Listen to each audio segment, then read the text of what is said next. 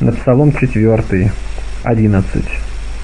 «Когда я взываю, услышь меня, Боже, правды моей». Пророк говорит это не для того, чтобы только мы знали, что он был услышан, но чтобы мы научились, как и мы, призывая Бога, можем быть скоро услышаны, еще прежде окончания молитвы получим просимые. Пророк не сказал после того, как я призвал, он услышал меня, но когда я взываю, услышь меня. Так и сам Бог обещал, сказав некогда призывающему его, когда ты будешь еще говорить, то вот я скажу тебе. Подлинно, не обилие слов умоляет Бога, но душа чистая и являющая добрые дела. Вот почему тем людям, которые живут порочно, а надеются умолить Бога обилием слов. Смотри, что говорит он. Если будете умножать моление, то не услышу вас. Когда будете простирать руки, то отвращу от вас очи мои. Исайя 1.15 Итак, молящемуся прежде всего нужно иметь твердую веру, и тогда просимое непременно получится. Потому-то и пророк не просто сказал «услышь меня», но с прибавлением правды моей, выражая свою твердую веру в Бога и то, что он всегда с нею приступал к Нему. Никто пусть не думает, будто он превозносится, когда говорит это. Он говорит это не с тем, чтобы превознести самого себя, но чтобы предложить некоторые наставления и увещания, весьма полезные для всех. Дабы кто-нибудь не сказал, он был услышан, потому что был Давид, а я не буду услышан, потому что я малый, незначителен. Он внушает, что и его Бог слушает не без причины, и тебя не слушает, не напрасно и случайно но всегда он внимательно смотрит на дела. Если ты имеешь дела, которые могут ходатайствовать за тебя, то ты непременно будешь услышан. И напротив, если ты не имеешь их, то хотя бы ты был Давидом, ты не будешь в состоянии умолить Бога. Как любостяжательные не смотрят ни на достоинство других людей, ни на иное, что, а только на их богатство – и надеясь через них сделать все, обращается к ним одним. Так и у Бога, любящего правду. Кто приступает к нему с ней, тот не отойдет, не получивши ничего. И напротив, кто приступит к нему без нее или осквернившись противоположными ей пороками, тот хотя бы просил тысячу раз, не будет иметь никакого успеха, потому что не имеет с собой того, что может умолить его. Потому если ты хочешь иметь какой-нибудь успех перед Богом, приступай к Нему, взяв с собой правду. Под именем же правда, разумеется, здесь не час добродетели, но всю добродетель всецело.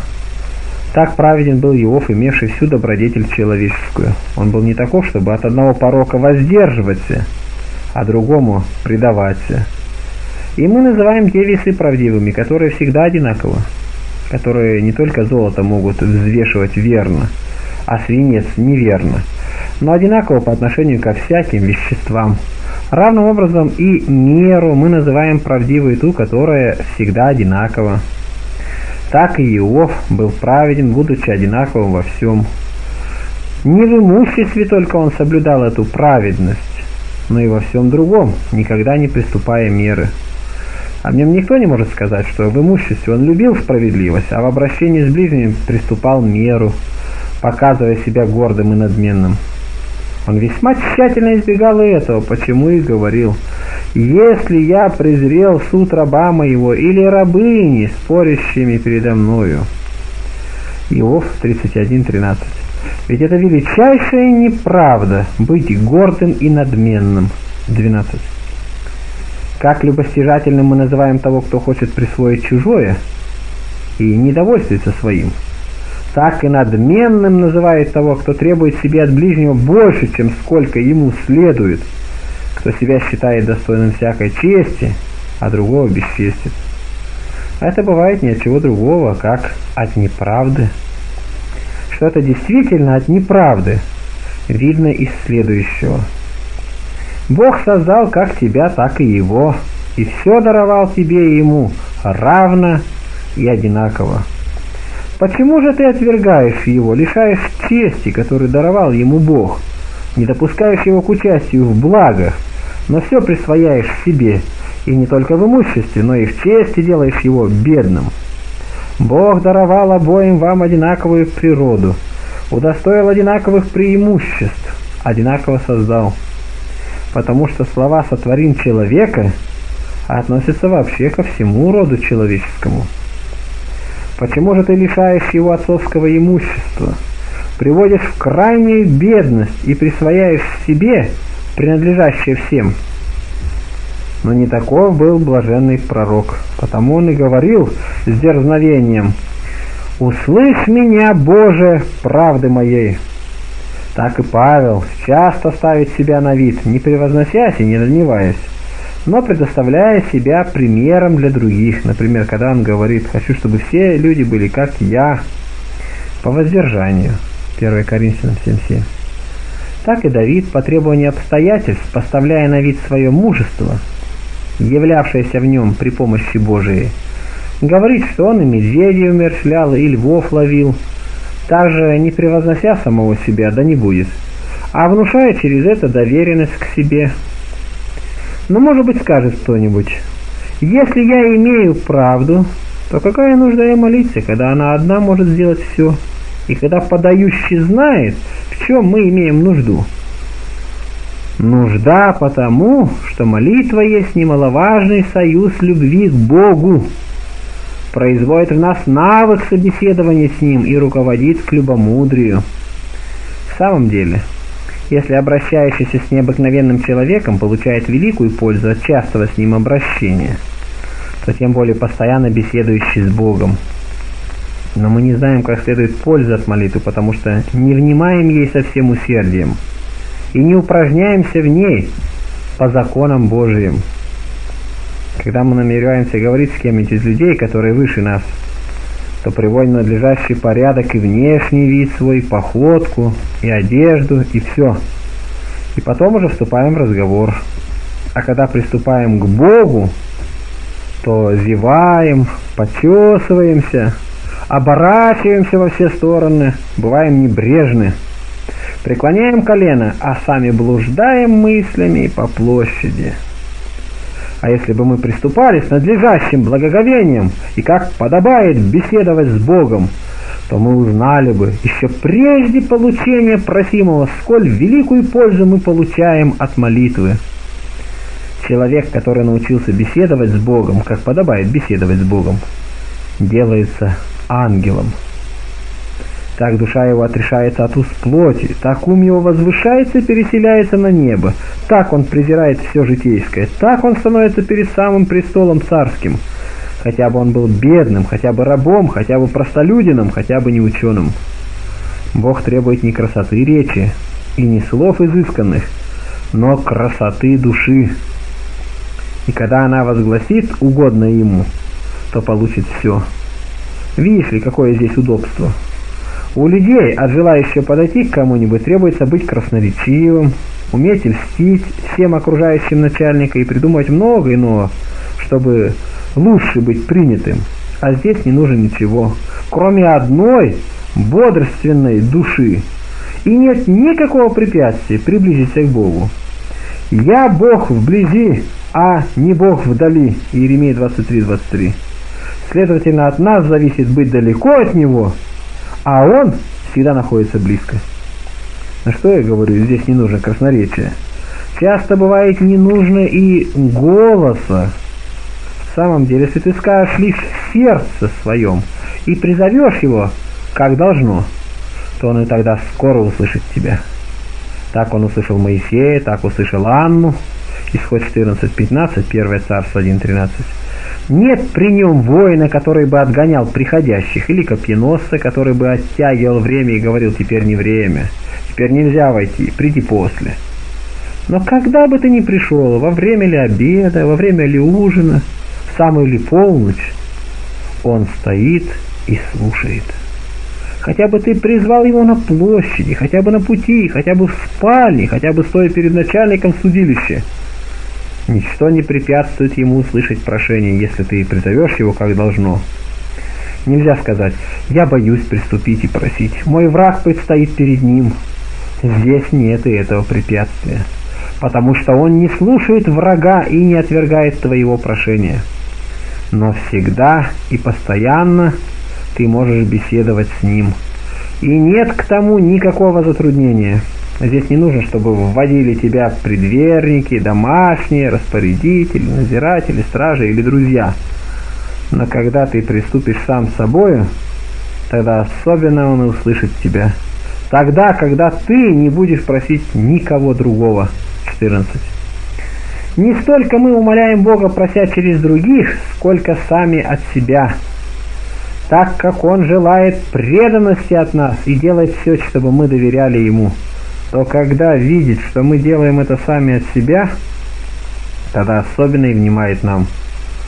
Так он поступил и с Хананиянкой. Когда Петр и Яков ходатайствовали за нее, то он не удовлетворил прошению. А когда она сама продолжала просить, то он скоро даровал ей просимое Матфея 15.22. Если он, по-видимому, несколько и медлил, то поступил так не для того, чтобы эта женщина ждала, но чтобы она получила больший венец и продолжением просьбы более приблизилась к нему. Будем же и мы с усердием обращаться к Богу, научимся, как совершать такое обращение. Не нужно ни ходить в музей, музей это здание, посвященное музам или место, назначенное для ученых занятий, училище, не сдерживать деньги, не нанимать учителей, ораторов или софистов, не тратить много времени, чтобы научиться такому собеседованию с Богом. Но достаточно только захотеть, это искусство приобретено. И в этом судилище ты можешь говорить не только за себя самого, но и за многих других. И какая цель этого искусства собеседования? Возношение молитвы. Нужно приступать к Богу с бодрственным умом, сокрушенной душою и с потоками слез. Не просить ничего житейского, желать будущего, молить о духовном, не спрашивать зла врагам – никому не помнить зла, исторгать из души свои все страсти и таким образом приступать сердцем, сокрушенным и смиренным, оказывать совершенную покорность, изрекать языком своим благословение, не быть причастным ни чему порочному, не иметь ничего общего с общим врагом Вселенной, то есть дьяволом. Того, кто говорит с царем, а других в то же время имеет общение с его врагами – наказывают даже внешние гражданские законы. Поэтому ты, если хочешь говорить с Богом о себе и других, старайся особенно о том, чтобы не иметь ничего общего с общим врагом Вселенной. Таким образом ты будешь праведным. А будучи праведным, ты будешь услышан, имея правду своей заступницей. скорби распространил меня, говорит пророк. Не сказал ты прекратил скорби, или ты избавил от искушений, но ты сподобил меня устоять и распространил меня. Действительно, мудрость и сила Божия открывается особенно из того, что Он не только прекращает скорби, но и в продолжении их подает великое спокойствие. Это и силу Божию показывает, и впадающих в искушение делает более любомудрыми. Когда ей дается простор, облегчающий скорбную душу, и прекращается скорбь, возбуждающая его от лености – и избавляющее от всякого усыпления. Но как скажешь, можешь быть в скорби распространения? Так, как было в печи с тремя отроками, как было в львином рве с Даниилом. Бог тогда не погасил пламени, однако сделал, что они были на свободе. Не умертвил львов, и однако сделал, что он был в безопасности – Хотя и там в печи огонь оставался сильно горевшим, и здесь звери оставались зверями. Но праведники наслаждались великим спокойствием. Впрочем, можно разуметь распространение иначе, именно когда душа, огорчаемая искушениями, освобождается от страстей и других многих болезней. Тогда она особенно наслаждается спокойствием. Многие, пользуясь благоденствием, предаются безрассуднейшим и мучительным для души их страстям, корыстолюбию, сластолюбию и многим другим порокам. А подвергшись скорби, освобождается от всего этого и находится в распространении. Как страждущие горячки, если будут удовлетворять своим неуместным пожеланиям, то есть употреблять в изобилии пищу и вино и тому подобное, то будут чувствовать большее стеснение. А если захотят немного испытать скорбь и потерпеть, то получат великое спокойствие, когда отвергнут то, что производит стеснение. Тогда будут наслаждаться совершенным здоровьем. Так бывает и здесь. Ничто обычно не доставляет такого спокойствия, как скорбь отклоняющий от всех забот житейских. Что было с иудеями, когда они терпели скорби и когда наслаждались благоденствием? Не больной ли расслабленной и непостоянной душе свойственно говорит следующее. «Соделай нам богов, которые пойдут перед нами, ибо Моисей, который вывел нас из земли египетской, не знаем, что с ним». Исход 32.1. И напротив, не любомудрой или свободной от житейских страстей душе свойственны те слова, которые они высказывали в молитве во время скорбей и которыми приобретали себе благоволение Божие. И этот самый пророк, Давид, когда благоденствовал, то как страдал, угнетался и мучился порочным пожеланием. А когда подвергался скорби, тогда вы знаете, каким он наслаждался спокойствием – Тогда не воспламенялся в нем огонь страсти, но всякий такой пламень угасал. Подлинно, ничто не причиняет нам столько страданий, как усилившиеся в душе страсти. Все другие бедствия действуют отвне, а эти рождаются внутри. Отсюда и происходит особенно великое мучение. Хотя бы весь мир огорчал нас, но если мы не огорчаем сами себя, то ничто не будет для нас тяжким. Следовательно, от нас зависит, испытывать скорби или не испытывать скорбей. 16. А чтобы ты удостоверился и апостольским изречением, какое происходит, распространение от скорби, послушай самого Павла, который о плодах скорби говорит, от скорби происходит терпение, от терпения опытность, от опытности надежда, надежда не постыжает. Римлянам 5.3. Видишь ли неизреченное распространение – Видишь ли пристань веселья? От скорби происходит терпение. Что может быть спокойнее человека, терпеливейшего и могущего легко переносить все? Что может быть сильнее человека опытного? Что может сравниться с происходящей отсюда радостью? Три радостные последствия, говорит апостол, происходят для нас отсюда терпение, опытность и надежда будущих благ – о них любомудрствует теперь и пророк, когда говорит «Скорби распространил меня, сказав, услышь меня, Боже, правды моей, в тесноте ты давал мне простор». Распространил. Чем он услышан именно не касательно имущества, потому что ничего подобного он не просил, не в том, чтобы одолеть врагов, потому что он не просил и этого, но касательно спокойствие, бывающего среди скорбей. Помилуй меня и услышь молитву мою. Что говоришь ты? Выше ты упомянул о правде, а здесь говоришь о милосердии и снисхождении. Какая же здесь может быть последовательность? Великая и весьма сообразная с вышесказанным.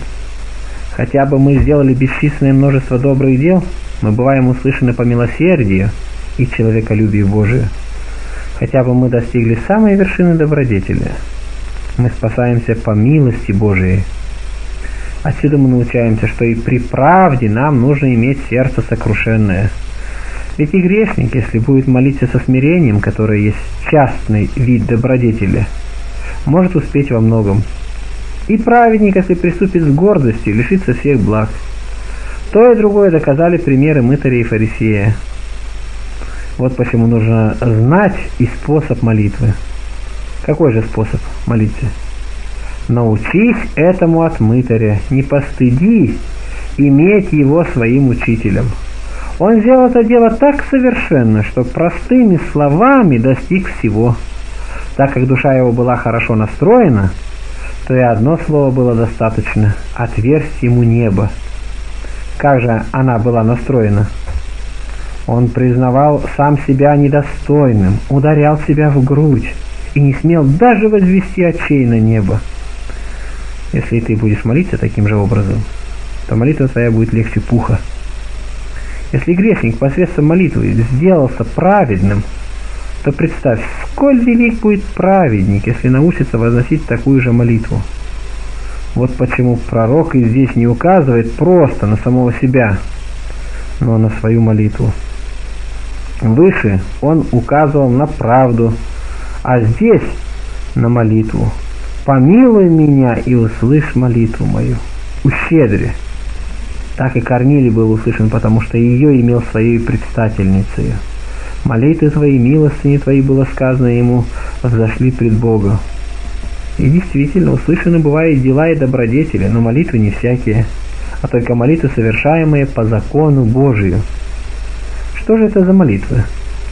Молитвы, в которых и спрашивается то, что даровать прилично Богу, в которых не спрашивается от Него ничего противного законам Его – но кто скажет так дерзко, чтобы просить Бога в исполнении противного законам Его? Тот, кто просит Его против врагов своих. Потому что это не согласно с постановлением от Него законом поставленным. Он говорит, прощайте должникам вашим, а ты его самого, повелевающего тебя прощать, призываешь против врагов своих. Что может быть хуже такого безумия? Молящемуся должно иметь вид, мысли и чувствование униженного просителя. Зачем же ты принимаешь на себя другой вид, вид обвинителя? Как ты можешь получить прощение собственных грехов, когда просишь Бога, чтобы Он наказал грехи других? Поэтому пусть будет молитва твоя смиренную, мирную, имеющую вид приятный и добрый, Такова молитва, совершаемая с кротостью, а не направленная против врагов. Противоположная же этой молитва подобна какой-нибудь пьяной и безумной женщине, бешеной и свирепой. Потому и недоступно для нее небо.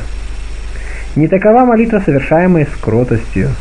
Она имеет в себе нечто благопристойное и приветливое, достойное царского слуха, приятное, благозвучное и стройное – Потому она и не изгоняется со зрелища, но бывает увенчанную. Она имеет золотые гусли и золотую одежду. Потому она и доставляет удовольствие судье и своим видом, и взором, и голосом. Потому никто и не изгоняет ее из обителей небесных. Она наполняет радостью все это зрелище. Она есть молитва, достойная небес. Она есть язык ангельский. Так как не говорит ничего горького, но все благоприятное. Когда она, приступая, просит за оскорбивших и обидевших, тогда и ангелы, предстоя, слушают ее с великим молчанием. И когда она умолкла, то они не перестают восклицать в честь ее, превозносить ее похвалами и удивляться ей. Будем же и мы возносить такую молитву, и тогда, конечно, будем услышаны. Когда мы приступаем к Богу, то не будем думать, что это обыкновенное зрелище. Здесь собрание целой вселенной, или лучше горних сонмов небесных, и среди них сидит сам царь, готовый слушать нашу молитву. Будем же стараться, чтобы она соответствовала зрелищу. Пусть ни один игрок на гуслях или певец на лире, который бывает так тщательный, когда выступает на сцену, и так боятся, чтобы не произвести какого-нибудь неприятного звука, не превзойдут в этом нас, когда мы намереваемся ступить на зрелище ангелов. А нашим орудием пусть будет язык, не произносящий ничего неприятного, но все стройное и благозвучное, с надлежащим настроением души. И приступая к Богу, прося и умоляя Его, будем ударять струны наши за врагов своих. Тогда услышана будет наша молитва, и за нас самих. 18. Такая молитва пристыжает злых духов. Такая молитва дает нам дерзновение пред Богом. Такая молитва посрамляет дьявола и прогоняет его. Подлинно не столько боится дьявол человека, прогоняющего и изгоняющего из другого человека, сколько того, кто укращает свой гнев и преодолевает свою раздражительность потому что это последнее есть злой дух, весьма свирепый. И таких людей надо назвать более несчастными, нежели одержимых бесом. В самом деле, беснование не ввергает в гиенну, а гнев и злопамятство лишает самого Царствия Небесного. Если мы таким образом составим свою молитву, то и мы в состоянии будем с дерзновением говорить Богу, «Услышь молитву мою». Такую молитву и ты принесешь пользу и поможешь не только себе самому, но доставишь радость и слушающему ее Богу, и спрашивай сообразного с его повелениями. Потому он скоро и услышит тебя. Это достойно звания сынов Божьих. Это особенно сообщает нам отличительный признак учеников Христовых. «Будьте милосерды, — говорит Господь, — как Отец ваш Небесный». Еще молитесь за обижающих вас, творящих вам напасти, да будете подобны Отцу вашему Небесному. Что может сравниться с такой молитвой? Она делает нас подобными не ангелам или архангелам, а самому Царю Небесному. А что сделался подобным кто царю? Насколько то возможно. То представь, какое может иметь дерзновение в молитвах. Сыны человеческие, говорит пророк. Стих 3. Сыны мужей, доколе слава моя будет в поругании, доколе будете любить суету и искать лжи. Кому он обращает речь? Кому делать обличение, предлагает совет? Кого называет сынами человеческими? Людей, живущих порочно, наклонных ко злу. Что же? А мы разве не сыны человеческие? По природе мы сыны человеческие, но по благодати нет.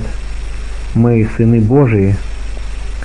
Этот дар будет у нас цел, если мы сохраним в себе образ его соблюдаемой добродетелью так как тем, которые сделали сынами Божьими по благодати, нужно выражать это образ и жизнью.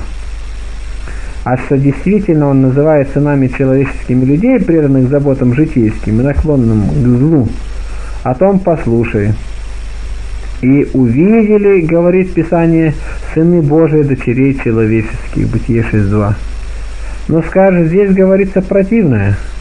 Нет сынами Божьими оно называет здесь тех людей, которые прежде были добродетельными и были удостоены чести от Бога, но потом изменились, сделались худшими, потеряли честь свою. Чтобы усилить их обличение, оно напоминает об их чести, внушая, что величайшая вина быть такими и происходить от таких людей и не спасть до такого зла. И еще, говорит Бог, я сказал, вы боги, все вы сыны Всевышнего, но умрете, как всякий человек.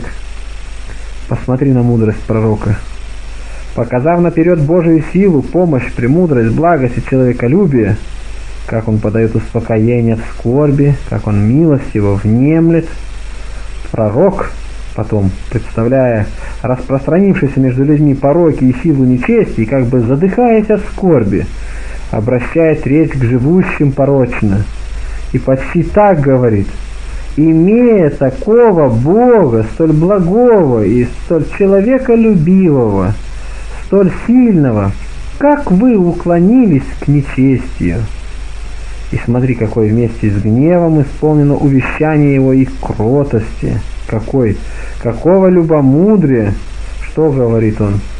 Сыны мужей, да коли слава моя будет в поругании.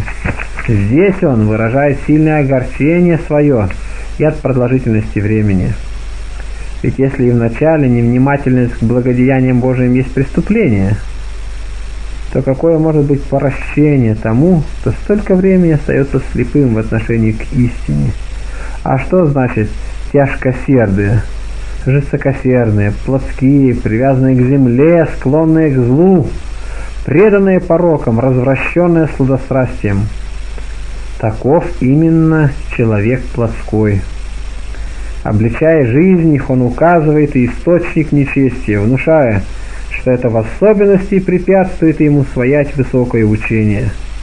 Ничто так не делает сердце жестоким, как порочное пожелание, пристрастие к житейскому, привязанность к земле.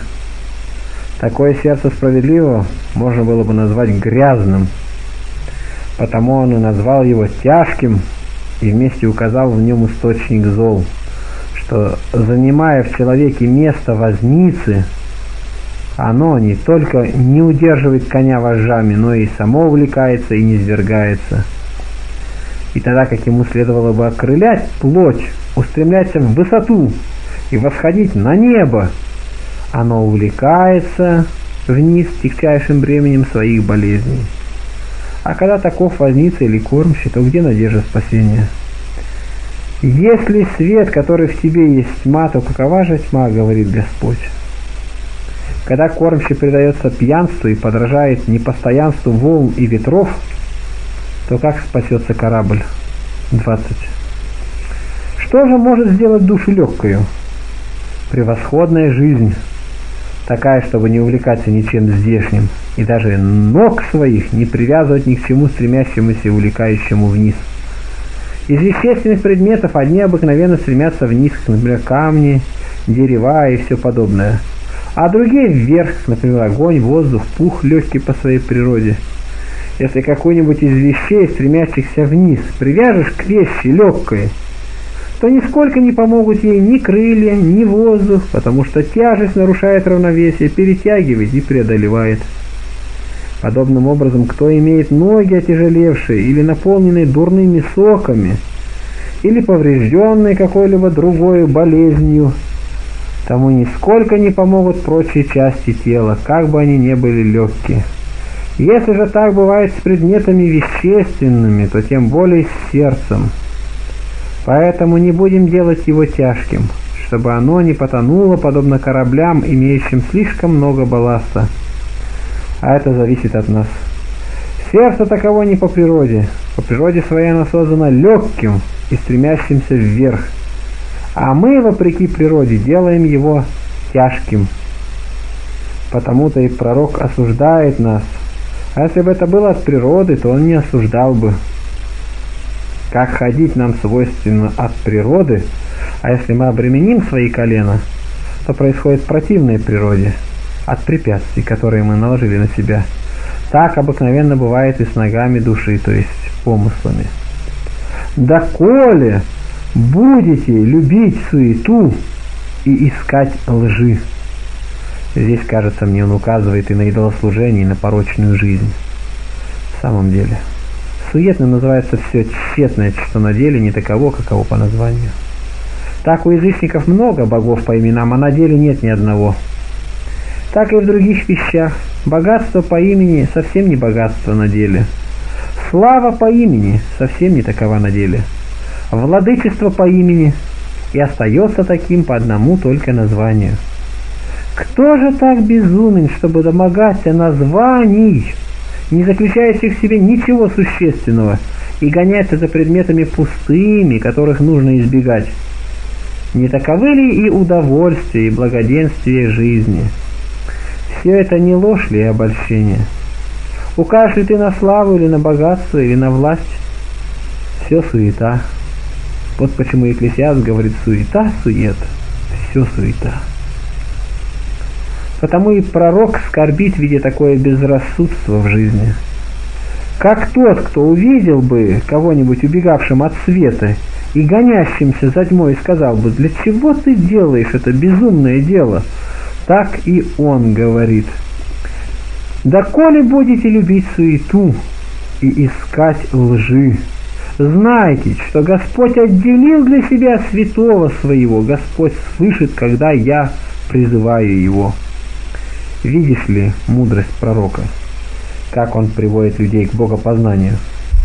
Самым очевидным образом самым ясным способом поставляя на вид самого себя. Я, говорит служитель истинного Бога, поэтому от меня познайте его силу, могущество, промышление. Это немаловажное средство богопознанию – Пророк иногда объясняет это, касаясь созданий, когда говорит о промысле Божьем, и обращаясь к солнцу, к небу, к земле и воздуху. Из порядка вещах видимых проповедует о Создателе. А иногда раскрывает это, касаясь его служителей и обстоятельств, случавшихся с ним самим. Так было с Авраамом. Мы знаем, говорили ему хитей, что ты, царь перед Богом, пришел к нам – Бытие 23.6. Откуда вы знаете? Из победы, из трофеев, из сражений. Так было и с иудеями. Чудеса, совершавшиеся с ними, привели страх всю землю, так как и блудница Ерихонская говорила тогда, напал страх на нас и трепет. Итак, один путь богопознания со стороны созданий, а другой яснейший со стороны служителей Божьих. И такое учение Бог издревле сеял в каждом поколении. Так египтян научал он посредством Авраама, персов посредством его же, то есть когда Авраам жил в Гераре, соседних с Гераром жителей святой Иоанн Златоуст называет персами. И измаильтян и многих других посредством его потомков, а посредством Якова других, живших в Месопотамии. Видишь ли, как жители всей вселенной научались, если хотели, от святых.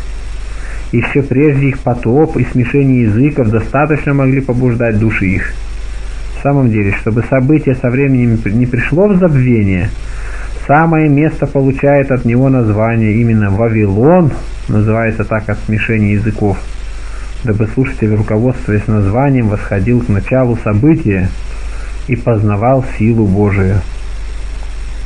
Так и все жители Запада научались всему, входя в торговые сношения с египтянами.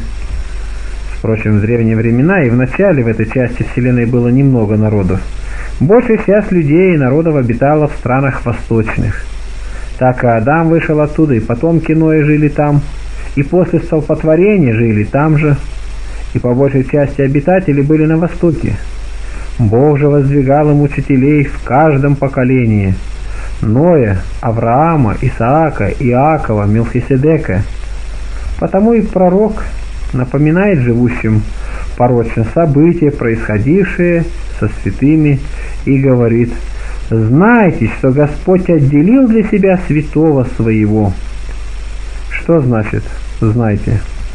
Взял удивительным, известным, знаменитым, славным того, кто был предан ему. Таким образом, от служителя Божия и событий, бывших с ним, познайте силу Господа. Не сказал только «даровал Бог», но удивил, выражая, что даровал с великой славою, совершенной неожиданностью. Так было и с Авраамом. Бог не только возвратил ему жену неприкосновенной, но и сделал его знаменитым. Даровал ему и не только то, что он не потерпел ничего неприятного, но и то, что он сделался славным в Египте. Одно было с ним за его праведность, то есть что он не потерпел ничего неприятного, а другое для пользы слышавших – то есть, что он чудным образом и сверх чаяния вышел оттуда. Бытие 12. Тоже было с тремя отроками, тоже с Даниилом Варвельвином, тоже с Ионой в чреве китовом. Всегда Бог спасает со славою, но не всех вообще, а праведных, преподобных. 22. Видишь ли, как пророк, научая Бога познанию, вместе с тем преподает наставление к добродетельной жизни, внушает, что надо возлагать надежду спасения не только на, благость, на благость Божию, но и на доброту собственных дел. Господь слышит меня, когда я призываю Его. Сказав, что Господь слышит преподобного, он не останавливается на этом, но открывает и другой вид благополучия. Какой же?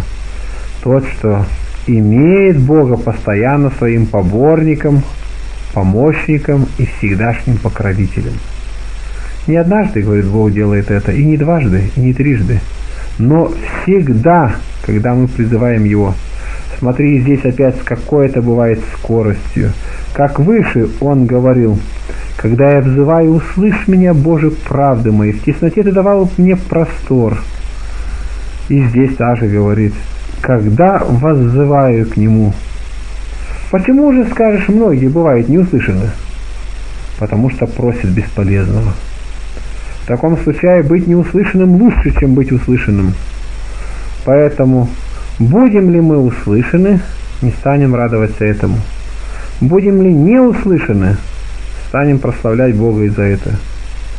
В самом деле, когда мы просим бесполезного и бываем неуслышаны, тогда от самого неполучения того, чего просим, мы получаем пользу.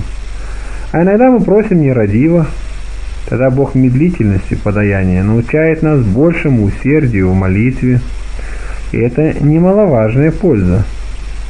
Если вы, говорит Господь, будучи злы, умеете добрые даяния давать детям вашим, то кальни паче отец ваш, умеющий давать и знающий, кому давать и что давать, когда. И Павел просил и не получил, потому что просил бесполезного. 2 Коринфянам 12.8. И Моисей просил, но Бог не услышал и его. Исход 32.32. Итак, не будем отступать, когда мы бываем неуслышаны. Не станем унывать и ослабевать, но будем продолжать просить с усердием, потому что Бог сделает все на пользу.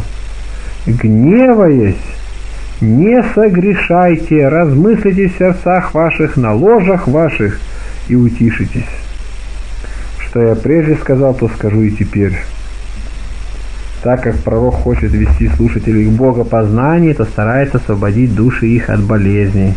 Он знал, что развратная жизнь служит препятствием к надлежащему принятию высокого учения.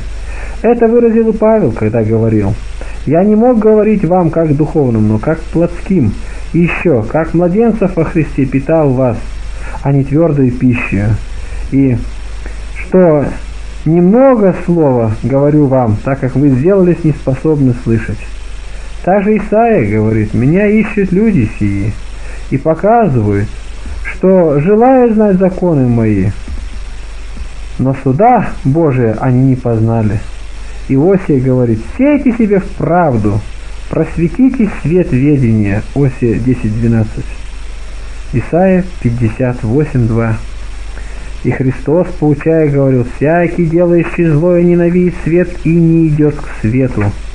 И еще, как вы можете веровать, если славу друг от друга принимаете, а славы от единого Бога не ищете? Иоанна 5.44.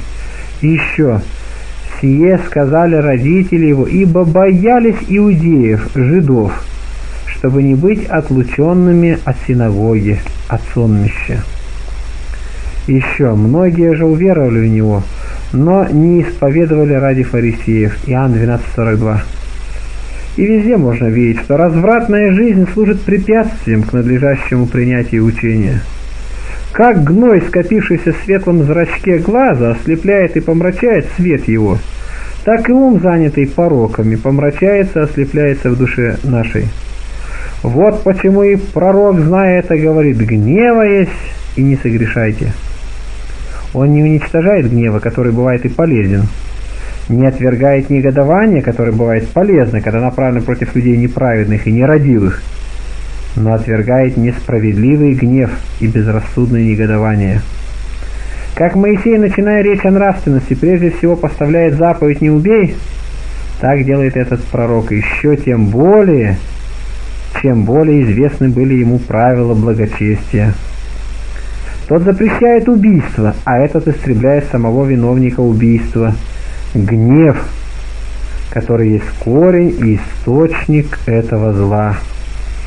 Поэтому и Христос, желая истребить гнев, говорил, «Гневайся на брата своего напрасного, повинен гиене огненной». Видишь, какое там и здесь ограничение, гневаясь и не согрешайте, гневающийся напрасно, потому что можно гневаться и справедливо. Так и Павел разгневался на Илиму, и Петр на Сапфиру – я даже не назову это, этого просто гневом, но любомудрием, попечением, распорядительностью. Гневается отец на сына, но потому что заботится о нем. Напрасно гневается тот, кто хочет отомстить за себя самого, а кто хочет исправить других, тот смирение всех. Так и Бог, когда о нем говорится, что он гневается, гневается не для отмщения за себя самого, но для исправления нас – Будем же и мы подражать ему, мстить. Таким образом есть дело божественное, а мстить иначе – дело человеческое. Впрочем, Бог не тем только отличается от нас, что Он гневается справедливо, но и тем, что в Боге гнев не есть какое-нибудь страстное раздражение. Итак, не будем и мы гневаться напрасно. Гнев внедрен в нас не с тем, чтобы мы грешили, но чтобы останавливали и других согрешающих. Не с тем, чтобы он сделался в нас страстью и болезнью, но чтобы служил врачеством от страстей. 24. Представь, как велико зло, порог, если при нем врачество делается ядом, если тем, чем нужно врачевать раны других, мы наносим раны себе. Это подобно тому, как если бы кто-нибудь, взявший железо, чтобы отсечь гнилые части у других, напрасно поразил себя самого и нанес себе раны по всему телу. Или если бы кормчий потопил судно теми самыми веслами, посредством которых нужно было останавливать напор буйных ветров. Таков и гнев.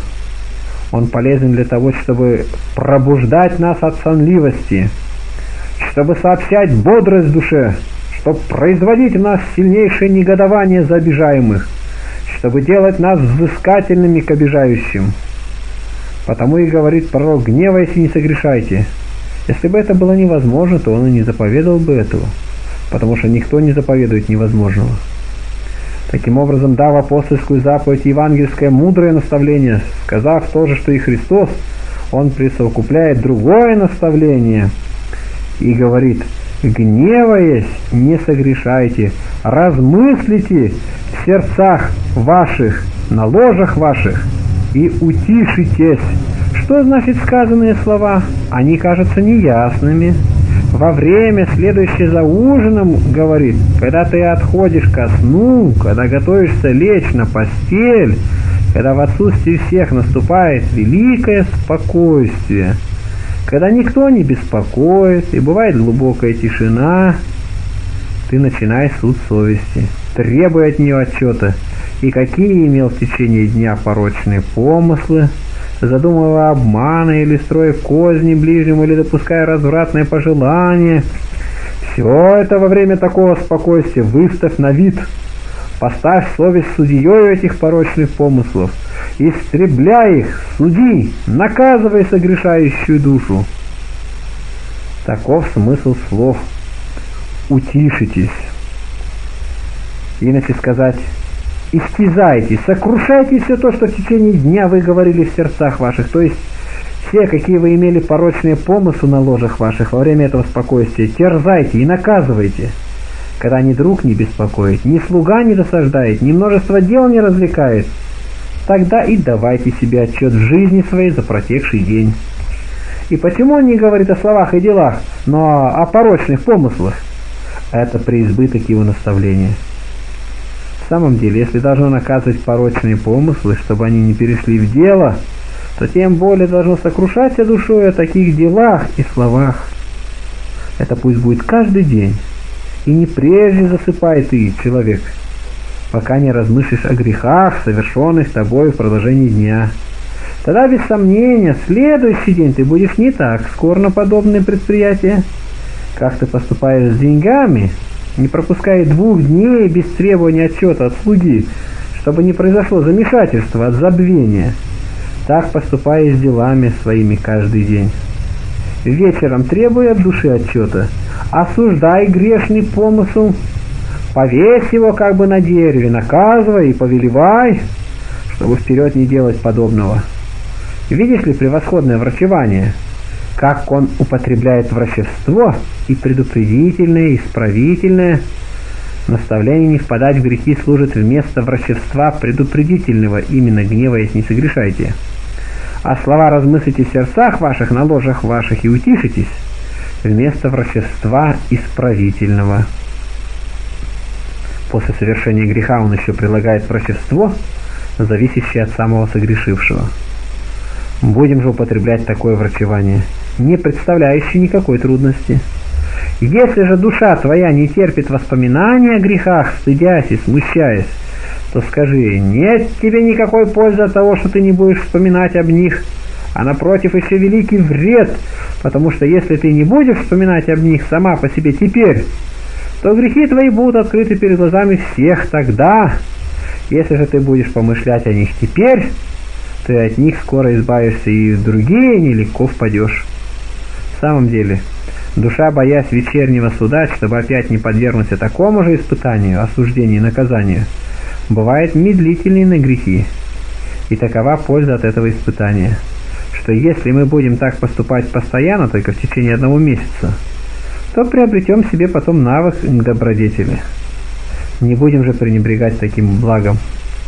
Кто ставит себя перед этим судилищем здесь, тот не подвергнется тяжкой ответственности там.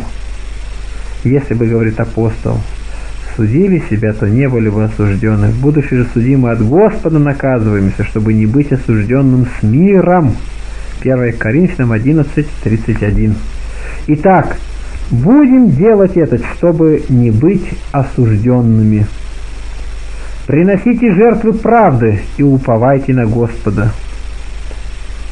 Видишь ли, последовательность превосходного совета. Видишь ли совершенное наставление – укорив слушателей за грехи, сделав их менее скорыми на подобные дела, устроив неподкупное судилище и потребовав отчета в жизни, он потом руководит их к совершению добродетели. Недостаточно ведь только воздерживаться от зла, но должно стараться и делать добро. Потому-то он далее предлагает такое вещание «Уклонись от зла и сотвори благо».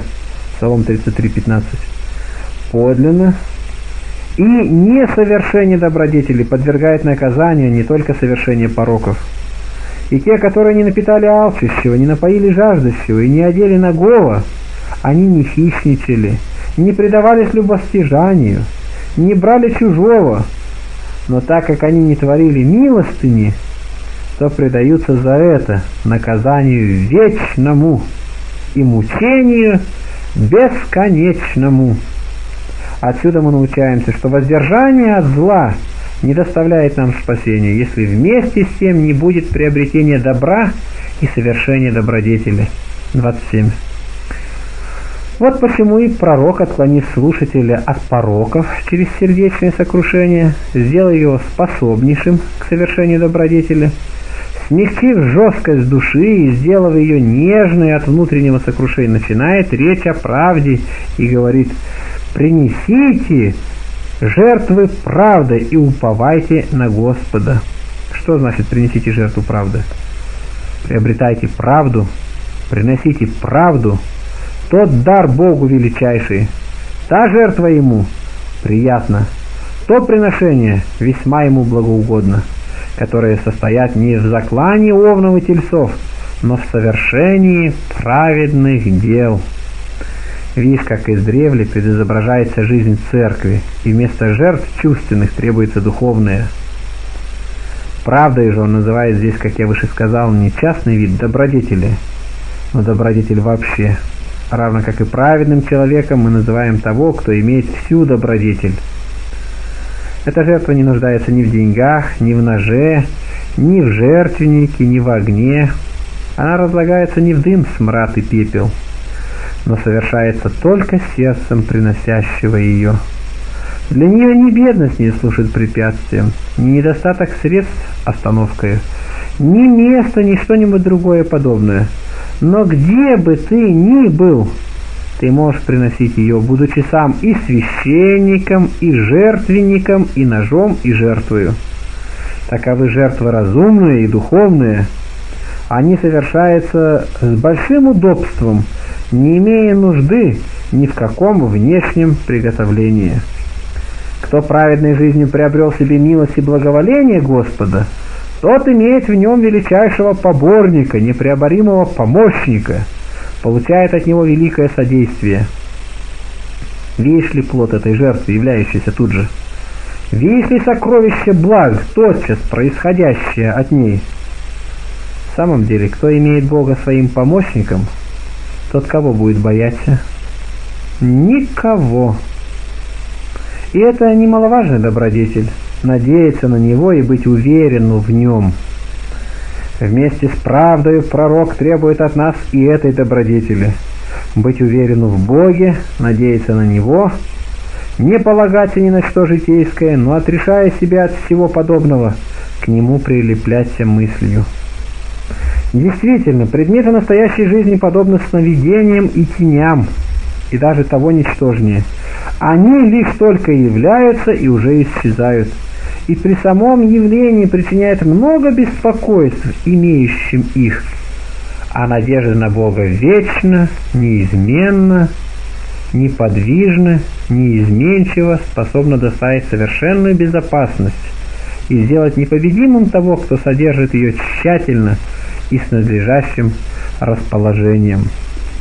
Многие говорят, кто покажет нам благо? Яви нам свет лица Твоего, Господи.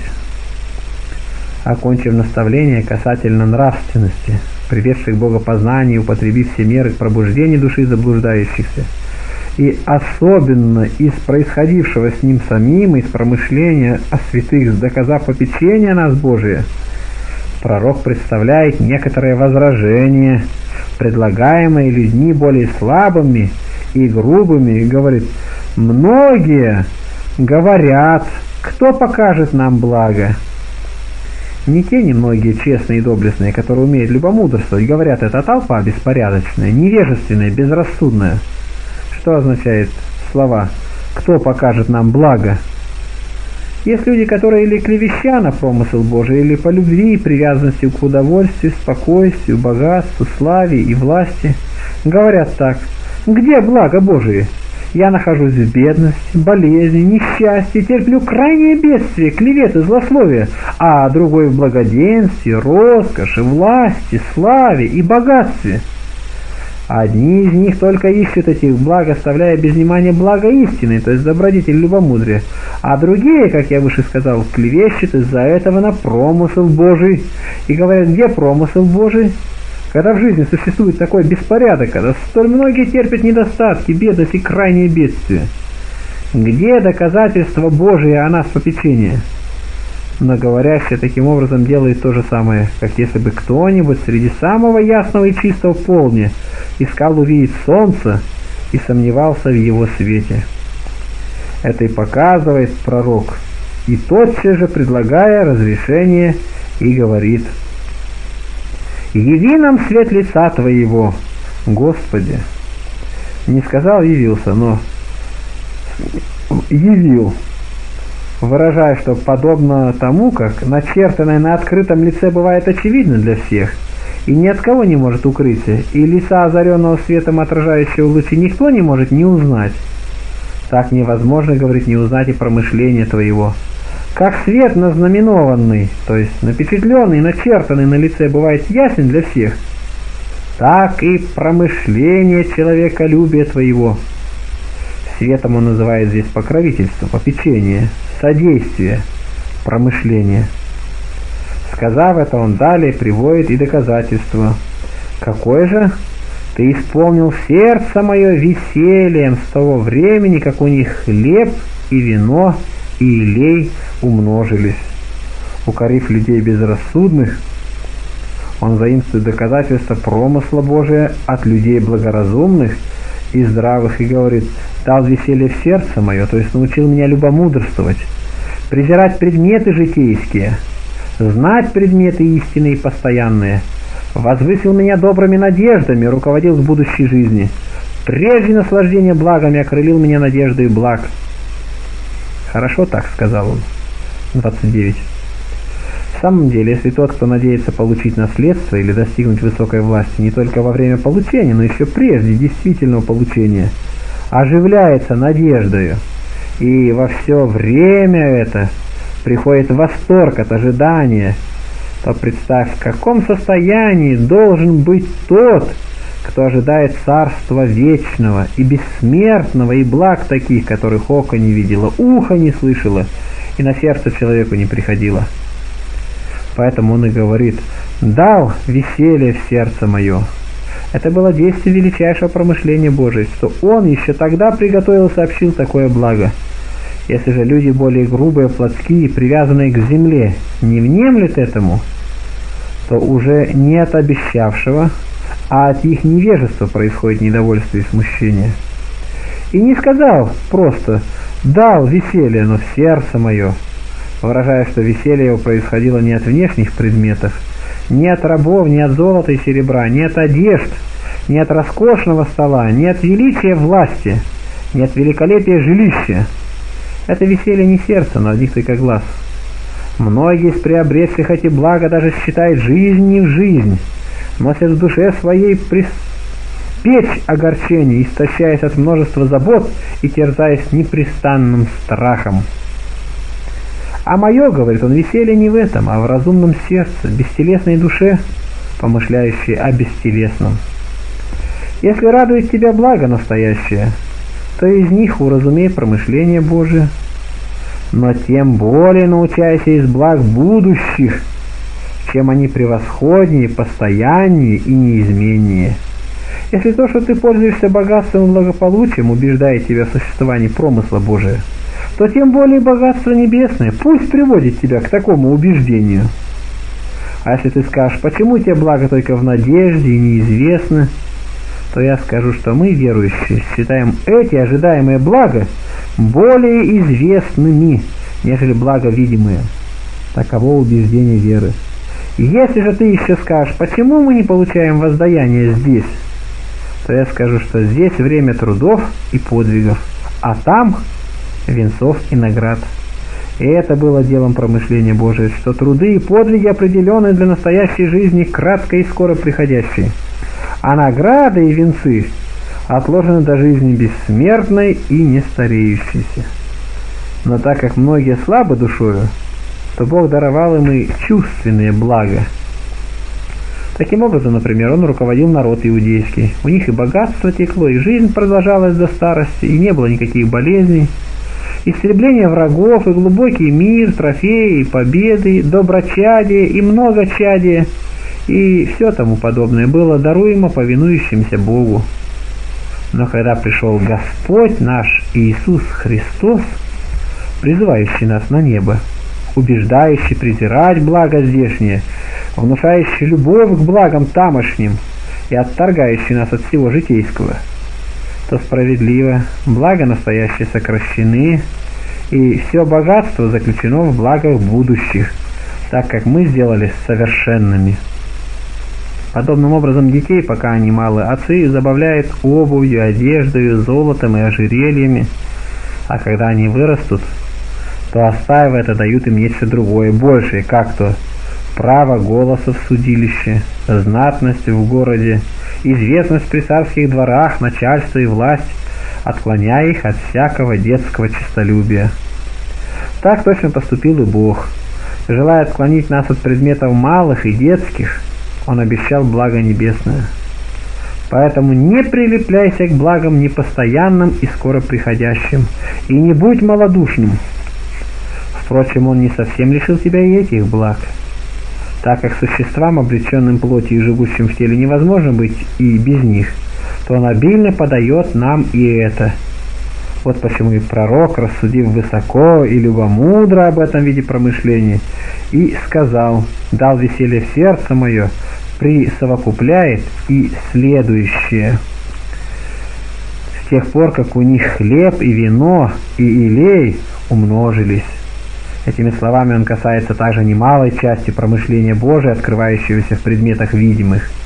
Когда он говорит о пшенице, вине и лее, и изобилии их, то разумеет и дожди, и благосостояние времен года, и недра земли, возвращающие и рождающие, и течение воздуха, и восхождение солнца, и перемены луны, и хоры звезд, и лето, и зиму, и осень, и весну, искусство земледельца, и пригодность орудий, и множество других приспособлений, так как если бы все это не содействовало, то плоды не могли бы образовываться и достигнуть зрелости.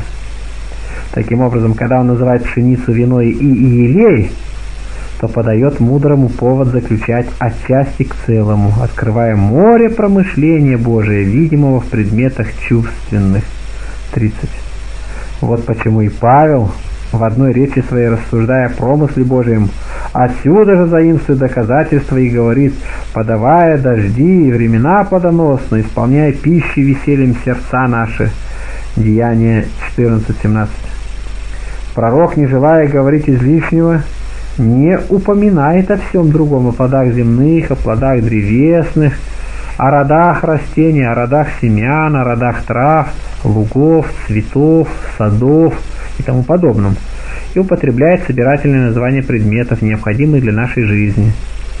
Давай через них разуметь и другие. Все это Бог не только подает нам, но подает с изобилием и каждый год. А если иногда и сокращает свои дары, то и этим опять показывает свое промышление, пробуждая многих от лености и заставляя их просить этих благ от него. Если же некоторые говорят, что подавать дожди не дело Бога, но идолов, то мы спросим их, откуда это известно. Скажут поэты, говорят, что Зевс подает дожди, Гомер в Одиссее, Рапс 14, Феокрит в Идилии 4 и другие – то они же сами говорят, что он и прелюбодей, и растлитель детей, и отца-убийца, и другие приписывают ему не меньшие преступления. Но это скажут несправедливо. Следовательно, несправедливо и то, что он подает дожди.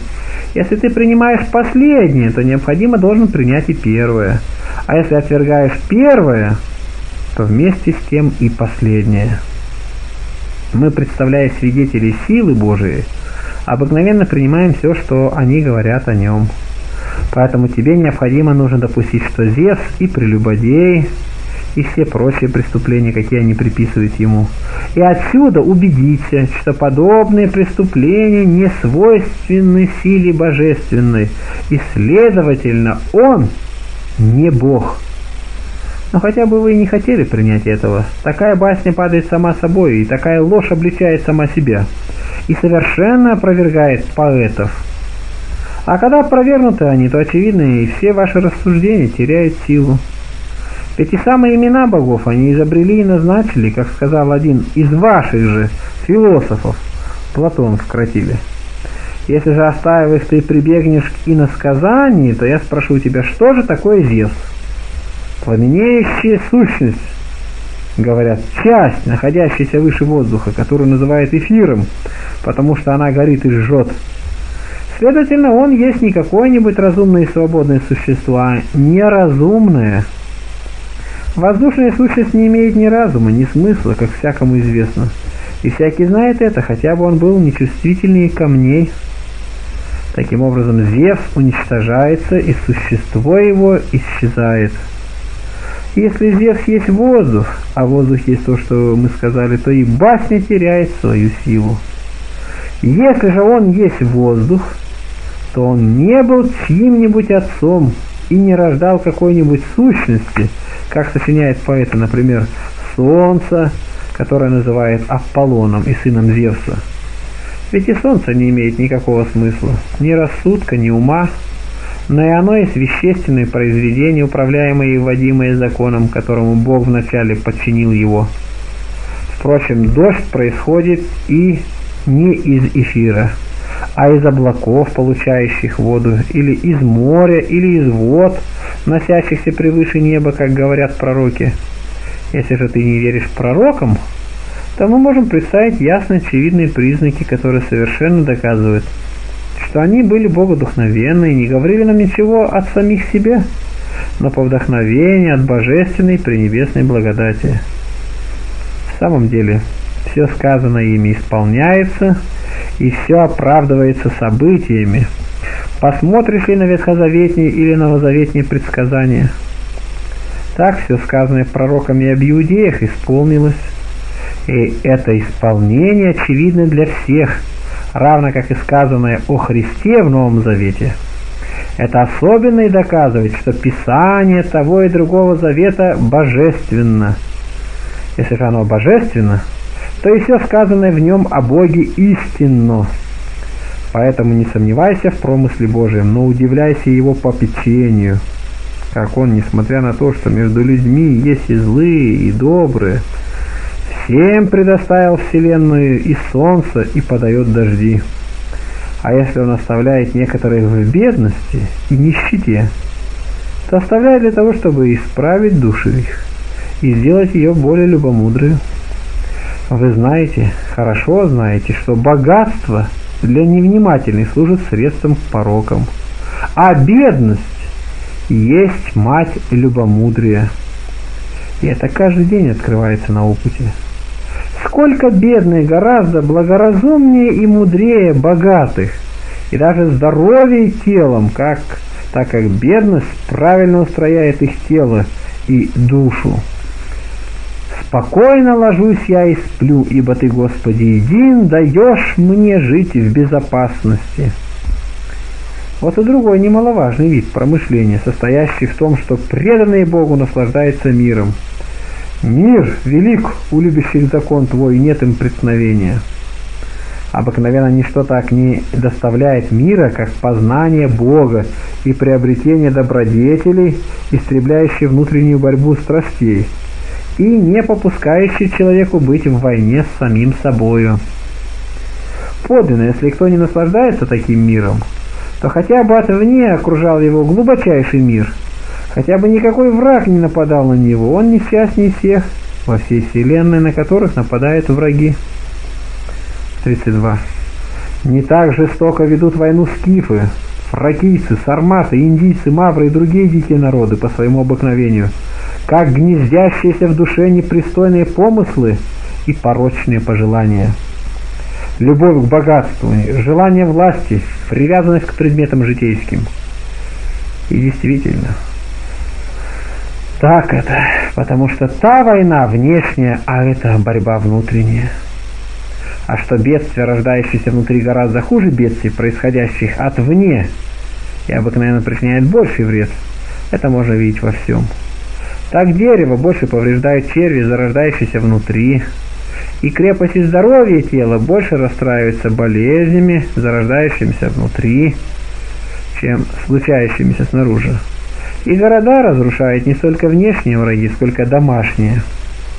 Так точно и душу обыкновенно не столько заражает бедствие, нападающие отвне, сколько болезни, зарождающиеся внутри.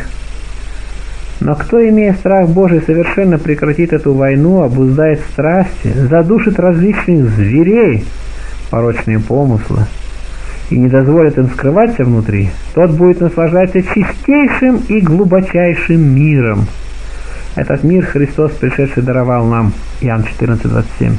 Этого мира и Павел желал верующим, повторяя в каждом послании, благодать вам и мир от Бога Отца нашего. Кто имеет этот мир, тот не боится не только врага и варвара, но и самого дьявола а посмевается над всеми полчищами злых духов, бывает благодушнее всех людей, не обременяется бедностью, не изнуряется недугами и болезнями, и не смущается никакими другими человеческими, неожиданно случающимися бедствиями, потому что он имеет душу способную перенести все это мужественно и весьма легко, душу крепкую и здоровую. Дабы вам убедиться, что это справедливо, представим пример пусть будет какой-нибудь завистник, и пусть никто не восстает против него. Какая ему от того польза? Он восстает сам против себя, изощряет на себя помыслы, опаснейшие всякого меча, раздражается всем видимым, мучится при виде каждого встречающегося ему человека и не чувствует никому доброго расположения, но считает всех вообще своими врагами. Какая же ему польза от внешнего мира – когда он сам неистовствует и беснуется, как общий враг человеческого рода, и ходит везде, нося внутри себя такую войну, бесчисленное множество копьев и мечей, желая лучше подвергнуться тысячи смертей, чем видеть кого-нибудь из подобных себе существ, пользующимся добрым мнением и благополучием. Также предавшийся страсти к богатству носит в душе свои бесчисленные войны, брани и смятения – находится в страхе и беспокойстве и не может быть в хорошем расположении духа ни на малейшее время. Но не таков тот, кто освободился от страстей. Напротив, он пребывает в тихой пристани, наслаждается любомудрием и не подвергается никакой подобной неприятности. Потому-то и пророк, наслаждаясь сам этим даром промысла Божий, говорит, в мире усну и почиюсь.